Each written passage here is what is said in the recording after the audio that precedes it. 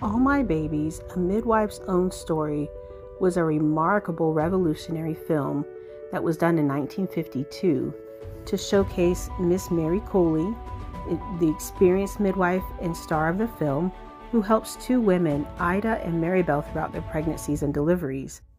Ida and Maribel both showcase two extremes in health status for, for pregnant women. Ida is very responsible and attends regular checkups, but Maribel has a poor obstetrical history and has not had regular checkups.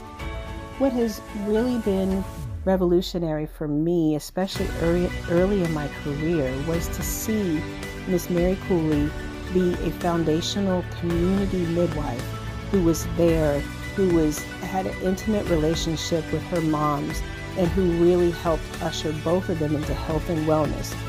This is the type of midwife I always wanted to be.